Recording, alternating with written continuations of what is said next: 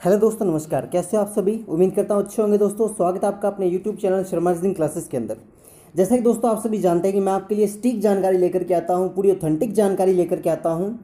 तो अभी अभी आज की जो सबसे बड़ी खबर है, वो मैं, मैंने सोचा कि आप लोगों तक पहुँचा दूँ। सबसे बड़ी खबर क्या आ रही है?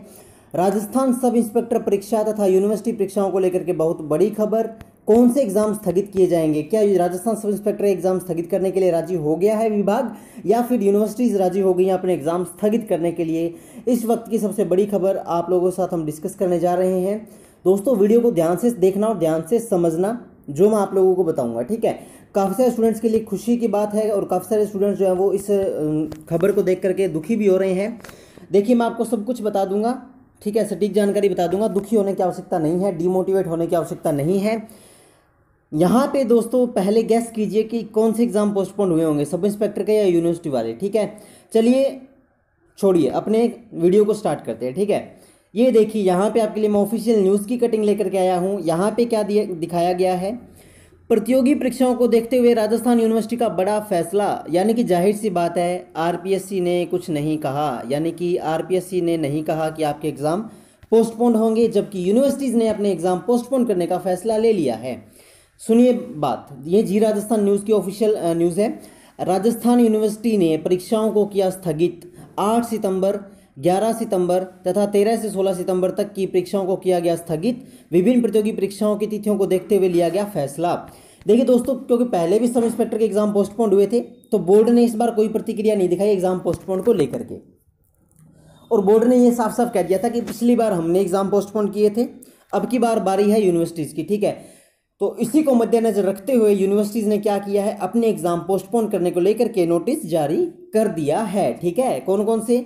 जो एग्ज़ाम 8 सितंबर को है 11 को है 13 से 16 के हैं, इन सभी को पोस्टपोन कर दिया क्योंकि 8 से लेकर के 16 सितंबर तक विभिन्न प्रकार के सरकारी एग्ज़ाम कॉम्पिटिटिव एग्ज़ाम प्रतियोगी परीक्षाएँ कंडक्ट करवाई जा रही हैं। ठीक है ना? अब देखिए, प्रतियोगी परीक्षाएँ और यूनिवर्सिटी परीक्षाओं में हो रहा था टकराव। बहुत सारे स्टूडेंट जो थे वो विद्रोह कर रहे थे, इसका विरोध कर रहे थे। कि उसी दिन सब इंस्पेक्टर की परीक्षा उसी दिन हमारे ये परीक्षा है तो हम कैसे देंगे? इसको लेकर के यूनिवर्सिटी ने बहुत ही अच्छा फैसला लिया है कि यूनिवर्सिटी ने अपने एग्ज़ाम पोस्टपोन कर दिए हैं, ठीक है? इन परीक्षाओं की, नई तिथियों की घोषणा की जाएगी जल्द जारी।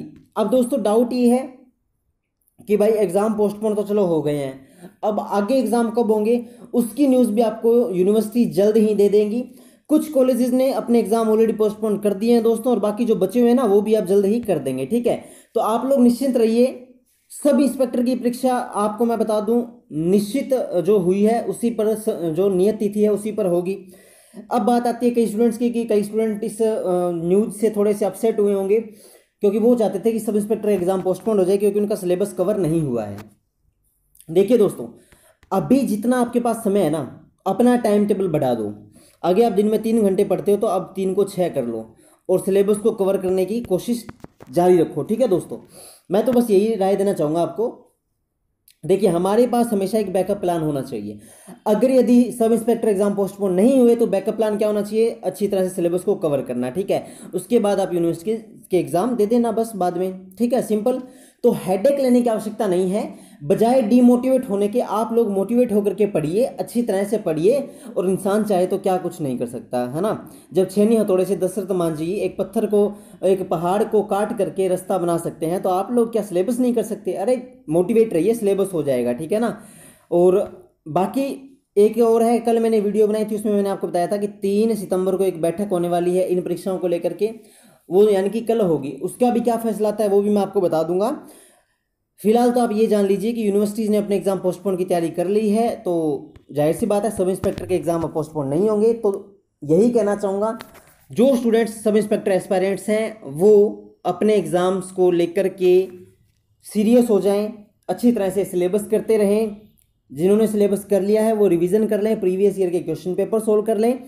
और जिन लोगों ने स्टार्ट नहीं किया है, मैं उनसे एक ही बात कहना चाहूँगा, जितना हो सकता है, जितना तुम खींच सकते हो, खींच लो। साठ परसेंट, सत्तर परसेंट, जितना तुमसे सिलेबस हो पा रहा है, कर लो। खाली बैठ के मतलब कि समय बर्बाद न करो। अब दोस्तों, आपके पास डू एंड डाई का ऑप्शन है, करो या मरो। ठीक है ना? करो या मरो का ऑप्शन है। या तो तुम कुछ अच्छा कर जाओ या फिर तुम रह नहीं दो। कंपटीशन से बाहर हो जाओ, ठीक है? बाकी हाँ कई स्टूडेंट इस फैसले से खुश हैं क्योंकि वो चाहते थे कि सब इंस्पेक्टर एग्ज़ाम उसी दिन हो क्योंकि उन्होंने काफ़ी वेट किया है इस एग्ज़ाम के लिए। उन्होंने काफ़ी बार सिलेबस को रिवाइज कर लिया है। उनके लिए अच्छी खबर है। कुछ स्टूडेंट दुखी इसलिए क्योंकि वो नहीं चाहते थे कि एग्ज़ाम पोस्ट यहाँ स्टेबल रहे पोस्टपोन करना चाहते थे। तो कोई दिक्कत नहीं है दोस्तों। परिस्थितियाँ जीवन में आती रहती हैं। परिस्थितियों से घबराना नहीं है उनसे। लड़ना है उनसे मुकाबला करने की हमें शक्ति लेनी है, ठीक है ना? तो कोई दिक्कत नहीं है।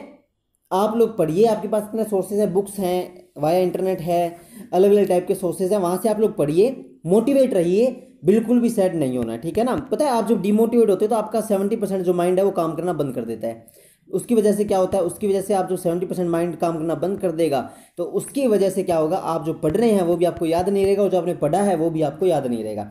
बोले तो नील बटे सन्नाटा। आई बात समझ में यानी कि ज़ीरो बाई ज़ीरो हो जाएगा वो। तो इसलिए दोस्तों अच्छे से पढ़ते रहिए कोई दिक्कत नहीं है। और यूनिवर्सिटीज़ के भी एग्ज़ाम को मद्देनजर रखते हुए यूनिवर्सिटीज़ का भी थोड़ा बहुत सिलेबस करते रहिए ठीक है ना? क्योंकि इस ये प्रतियोगी परीक्षाएँ जैसे ही खत्म हो जाएँगी वैसे ही फटाक से यूनिवर्सिटीज़ अपना ऑर्डर जारी कर देगी क्योंकि ज़्यादा डिले यूनिवर्सिटीज़ भी नहीं कर सकती ठीक है ना? बाकी आ, कल क्या फैसला होता है उस पर भी एक काफ़ी सारे स्टूडेंट्स की उम्मीद टिकी हुई है तो कल का जो फैसला है तीन सितंबर का वो भी मैं आपको सबसे पहले अपडेट दे दूँगा। दोस्तों, यहाँ पे मैं आपको एक बात बताना चाहूँगा। जो भी मैं जानकारी देता हूँ हंड्रेड नहीं, मैं कहूँगा टू हंड्रेड परसेंट सही होती है, ठीक है ना? आप चाहे कहीं से वेरीफाई कर लेना, क्योंकि गलत जानकारी देने का मुझे कोई शौक नहीं है।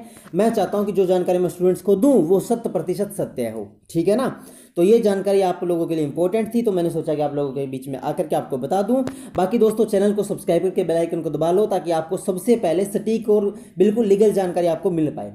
इसके अलावा दोस्तों व्हाट्सएप ग्रुप और मेरा कॉन्टैक्ट नंबर आपको डिस्क्रिप्शन में मिल जाएगा। चैनल पर वीडियोज़ की आपको प्ले देखनी है तो वो प्ले ऑप्शन में जाकर के देख लीजिए। दोस्तों वीडियो को ज़्यादा से ज़्यादा शेयर कर दो, सभी लोगों तक वीडियो पहुँच जानी चाहिए। फुल फैला दो वीडियो को ताकि सभी लोगों तक सटीक जानकारी पहुँचे। इसके साथ साथ दोस्तों, आप लोग अपना प्यारा सा कमेंट करके अपनी एडवाइजरी अपनी राय ज़रूर देना। आपको क्या लगता है, ये फैसला क्या कैसा है, और कल बैठक में क्या होना चाहिए? क्या सच में एग्ज़ाम पोस्टपोन होने चाहिए? ऐसा है कि, या फिर इन, इस फैसले से आप लोग खुश हैं, ठीक है? तो आप लोग अपने कमेंट सेक्शन में ज़रूर बताइएगा दोस्तों। बाकी कोई दिक्कत हो, आप लोग एनी टाइम मुझे कांटेक्ट कर सकते हैं। आप लोग कभी कमेंट करिए, मैं सभी के कमेंट पढ़ता हूँ। मिलते हैं दोस्तों नेक्स्ट वीडियो में। तब तक के लिए bye take care love you all जय हिंद, जय भारत, जय राजस्थान।